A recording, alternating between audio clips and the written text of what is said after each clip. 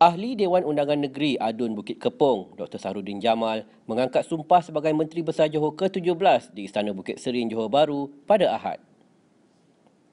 Sebelum ini, Dr. Sahrudin adalah anggota Exco Kerajaan Negeri yang memegang portfolio pengurusi jawatan kuasa kesihatan alam sekitar dan pertanian negeri.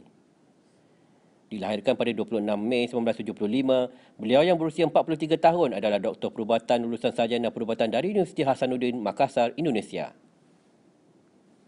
Uh, pertama-tamanya saya ingin mengucapkan terima kasihlah kepada semua yang sentiasa bersatu hati untuk memastikan kita dapat bekerjasama dan lebih kukuh untuk memastikan kebajikan rakyat dan negeri Johor tetap uh, diutamakan. Uh, apapun uh, saya akan cuba menggalas amanah yang diberikan kepada saya dengan sepenuh hati untuk memastikan kemajuan negeri Johor dan yang penting sekarang ialah rakyat.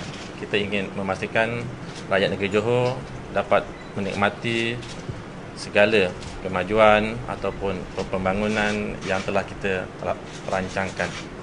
So insyaAllah dengan bantuan semua YB-YB, sahabat-sahabat semua insyaAllah kita akan dapat membawa negeri Johor lebih maju ke depan.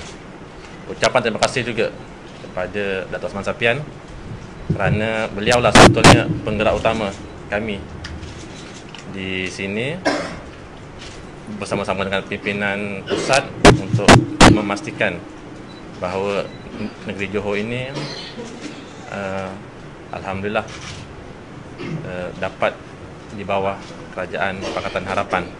Ucapan terima kasih yang setinggi-tingginya dan Alhamdulillah sepanjang Datuk menerajui negeri Johor banyak perancangan-perancangan yang telah beliau lakukan dan insyaAllah saya akan meneruskan segala agenda yang telah direncanakan.